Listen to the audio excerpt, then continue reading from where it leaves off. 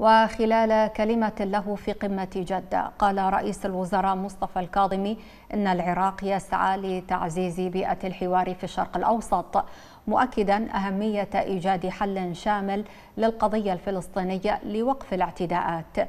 ولفت الانتباه إلى أن العراق ماض بالربط الكهربائي مع الخليج والأردن ومصر واقترح, واقترح إنشاء بنك يهتم بالتنمية والتطوير في المنطقة.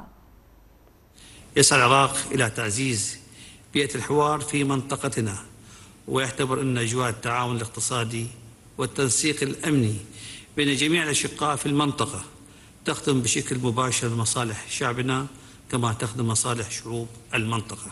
أبرمنا مجموعة اتفاقات للربط الكهربائي مع المملكة العربية السعودية وكذلك مع دول مجلس التعاون الخليجي وكذلك قمنا بربط الكهربائي مع المملكة الأردنية الهاشمية وجمهورية مصر العربية. تبرز أولوية إيجاد حل شامل وعادل ودائم للقضية الفلسطينية بما يلبي الطموحات والحقوق المشروعة للشعب الفلسطيني وضرورة وقف جميع الإجراءات العدوانية والانتهاكات والاعتداءات بحق الشعب الفلسطيني.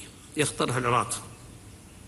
إنشاء بنك الشرق الأوسط للتنمية والتكامل.